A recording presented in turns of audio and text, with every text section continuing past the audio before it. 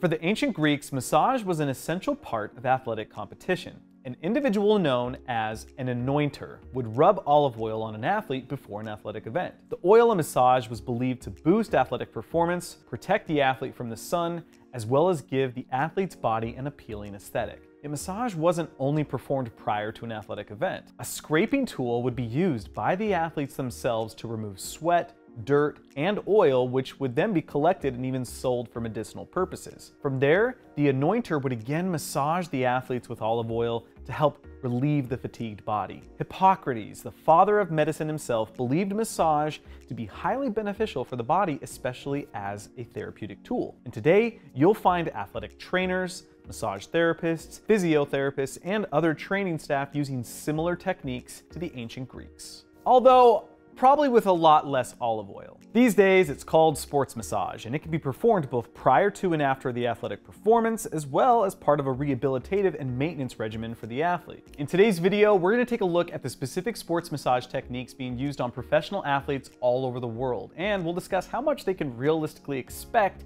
in regards to boosting their performance. And on top of that, we'll also take a look at the various sports massage techniques that might help your average runner, weightlifter, and even CrossFitter. It's gonna be a um, oily one. Let's do this.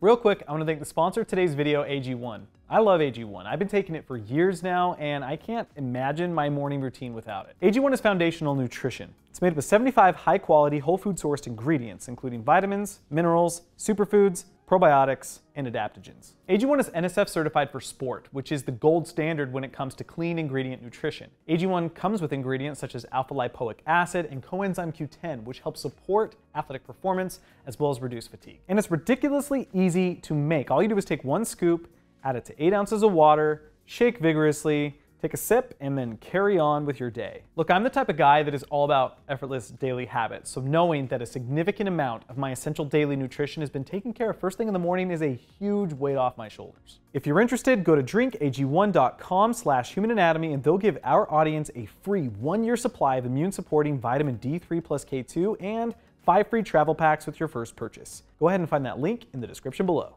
Generally speaking, there are five basic techniques in massage. Now, this is all of massage, not just sports massage. And the first is called effleurage. This is a gliding movement. It's for lengthening tissue, applying lotion, oils, but it also can help increase blood flow. You then have petrissage.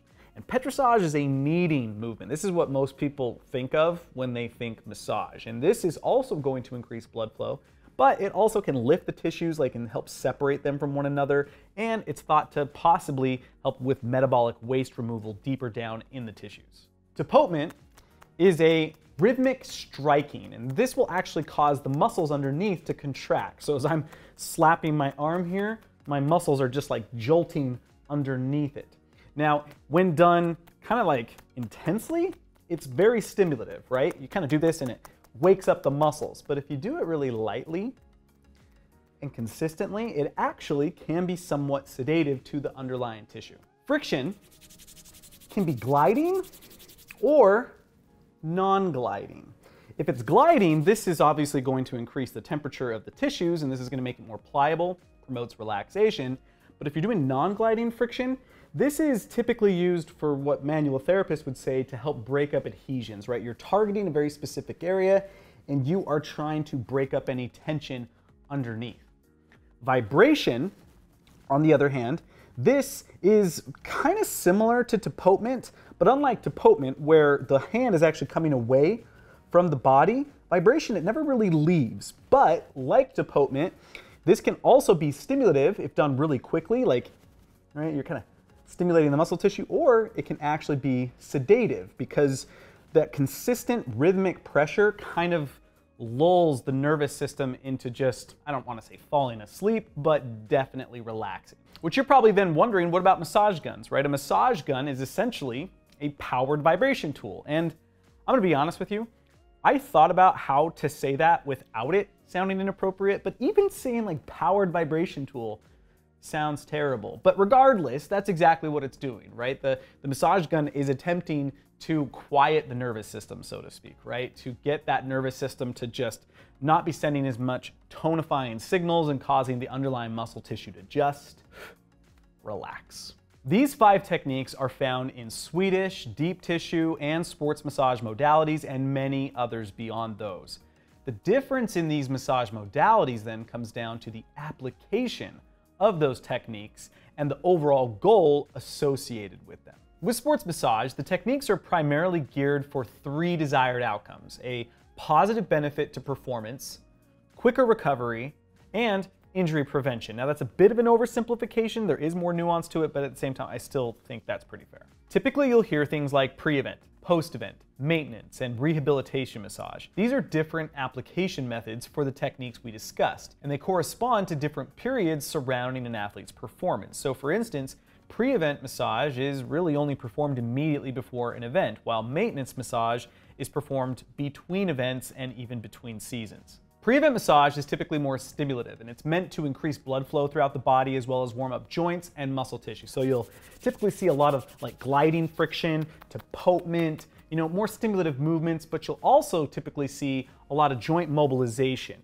And this is just meant again to help warm up those joints. Post-event massage is far less stimulating, and this is where you use a combination of all five massage techniques that we utilized earlier. So you're gonna get, yes, gliding friction, but it may not be as stimulative, right? The goal is not to pump up the body. The goal is really to relax. So you might see a lot more effleurage, you might see more targeted uh, deep friction. It really just depends on that specific therapist and what their goals are. But I guess generally speaking, the goal is to have that athlete recover quicker and get back to feeling normal sooner. Maintenance massage can look different depending on the needs of the athlete, but I think a real good way to just kind of think about it in your head is going to be it's just like car maintenance, right? This is getting your oil changed, your windshield wipers done, right? Making sure fluids are in tip top shape, right? This is just the things you need to do in order to operate normally and efficiently. And that's exactly what a maintenance massage is meant to do. Rehabilitation massage, on the other hand, while still individualized for that specific athlete, is going to typically be far more targeted, right? The goal here is to help them recover from some kind of injury. But on top of that, you also want to prevent re-injury or some other kind of complication from that injury, right? Because the body will compensate, for instance. So if you're, you know, taking, if you have a knee injury and you're putting less weight on that leg, you might be compromising other areas of the body, meaning they're tighter, this, that, or the other. So this is where the skill of the therapist really comes in to play because they have to kind of figure out what is needed and where to help recover from the injury, but also prevent re-injury and other extenuating injuries. So with all that out of the way, what can an athlete realistically expect when it comes to an increase in their performance? Sports massage works. If it didn't work, you wouldn't see it being performed on professional athletes that are paid hundreds of thousands to millions of dollars every single year. But we need to reel in our expectations around what boosting performance means because if you're expecting an athlete to add four inches to their verticals simply by getting some tapotement on their calves, you're going to be sorely disappointed. Sports massage as a whole has been shown to improve circulation, promote relaxation, increase flexibility, and even decrease delayed onset muscle soreness, although that decrease is extremely minor. But it's important to understand that these benefits may not be beneficial to every athlete in every situation. For example, an increase in flexibility for a power lifter may not be the best thing, or at least in a pre-event situation. An increase in flexibility and range of motion can come at the cost of stability meaning massage techniques meant to relax could potentially be dangerous for a power lifter. For a gymnast, though, an increase in flexibility and range of motion could be exactly what they need for a specific event. The same goes for a hurdler, martial artist, diver, so on and so forth. This is where the expertise and experience of the athletic trainer, physiotherapist, or massage therapist becomes essential. It's important to understand that this increase in flexibility and decrease in delayed onset muscle soreness, though, is really only statistically significant. And that doesn't necessarily mean it's a lot, right? All it really means is that the data that we've accumulated and the science that's been done has shown that yes, right, sports massage does increase flexibility. It makes you feel less sore. How much though? Not very much. Now, here's the thing that doesn't mean that that's always the case, though, with every single athlete, right? For some people, it may feel like it does a lot more than it does for others. especially because like when you include the psychology of this, right? Athletes may just be like, I need this, right? I need my stinky socks. I need to wear the same underwear if I'm Patrick Mahomes, and I need my massage. And you can't say that it didn't help them. It's just saying that the data we have suggests that yes, this moves the needle. Sports massage moves the needle and does show an increase in flexibility and a decrease in muscle soreness. How much though, that's really tough to say. The benefits of sports massage are best seen when you pair it with other treatments and training methods. It can be a powerful tool for the right person in the right circumstance, but that doesn't make it the best tool in all situations. Knowing when, where, and how to perform the technique is more important than the ability to perform the technique. So knowing this, I want to give you something to work with, or probably more so experiment with if you're someone who's looking to boost your performance with your own home workouts. What I want to do is discuss some pre-event sports massage techniques and see which of them are going to be beneficial and which of them are going to be detrimental for three of the most common sports out there. Weightlifting, CrossFit, and running. Generally speaking for CrossFit, the aim is to prepare the body for a variety of high intensity functional movements by attempting to enhance overall muscle function, flexibility, and readiness without compromising stability. Full body, moderate pressure effleurage with targeted petrissage in the upper and lower limbs with cross fiber friction, again, in targeted regions of muscle tightness, is believed to be beneficial. Pair that with dynamic stretching, which will help tonify the muscles after the massage, and the body should be primed and ready to go, at least from a sports massage perspective. But deep tissue techniques, along with static stretching and intense myofascial focus, can be problematic. We did an entire video on foam rolling and myofascial therapies already, so if you're interested to know more, I encourage you to check that out after this video. But just understand that deep, slow, intense pressure on the soft tissues right before a circuit or activity might possibly increase the likelihood of an injury. Another thing to be wary of is overworking an area that you're trying to target when it comes to regional muscle soreness. Look, I get it, right? Like massaging an area when it's tight can feel really good, but the problem you have when it comes to CrossFit is you're risking imbalance. Because let's say it's too relaxed, or if your goal is to tonify, it's more tone than the other side. And obviously that's gonna be a problem when it comes to CrossFit because balance is essential. But the other thing you have to worry about is possibly injuring yourself, right? Overworking the tissue. I mean, you're just mashing stuff together. It's definitely possible to create inflammation, and that inflammation could lead to an injury, but the definition of inflammation essentially comes with a loss of functionality, which again defeats the entire purpose of the, I guess, pre-event massage. Let's now shift to running. Now, generally speaking, the aim should be to prepare the body for endurance, consistent pacing, and the repetitive impact of running. The focus should be on enhancing lower body muscle function, maintaining optimal muscle tension, and ensuring good circulation. Mild to moderate full body effleurage is a great place to start. Now, from there, you can then move to gentle petrissage with a greater focus on the lower body. I mean, obviously, in running, the upper body is still going to be involved, so feel free to address the upper body. But again, from a performance standpoint, you're primarily going to be focused on the lower body. But the thing is, you don't want to overwork the muscle tissue either. So when we say gentle and light pressure, this is mainly just to increase circulation. It's not there to like, you know, really pump everything up. You just want to kind of like, hey, we're getting ready. Let's do this.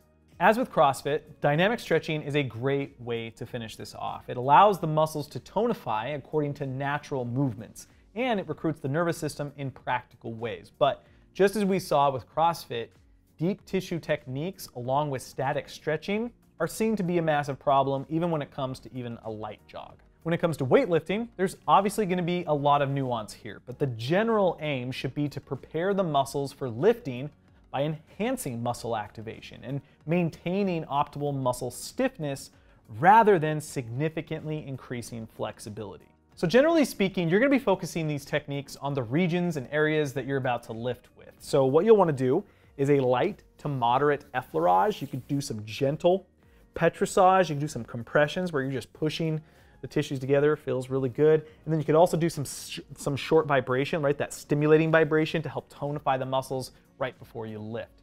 What you don't want to do, or what you're, it's believed you don't want to do, is going to be like deep tissue massage. You don't want to do like excessive friction around the joints because those are going to promote relaxation as well as flexibility and just an increase in range of motion. And for weightlifting, I mean, that this could potentially be destabilizing, so you could potentially be setting yourself up for injury or at least reduce your ability to perform.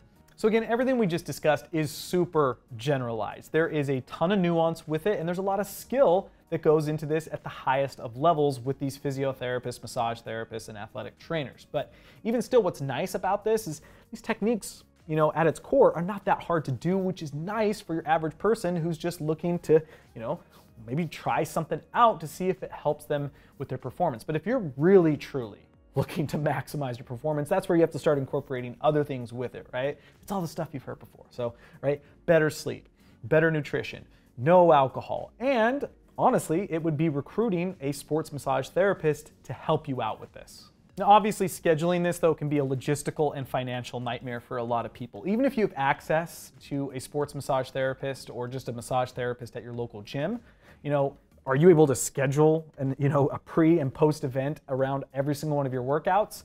Probably not. I mean, if so, that's awesome. Go for it. See how that works out for you. But for most people, this is just not in the realm of reality, which is why I'm really excited about the fact that it's so simple to do. At least I mean, again, this is not at the high end, right? You're not going to get all of the potential benefits. There is a philosophy, there's a lot of nuance with this, but this still is something you can experiment with, right? You could test this at home, you can try these things out, see how it works. At worst, it feels good, but at best, it may help. Thanks for hanging out with me. I hope you enjoy the video. I'll see you in the next one.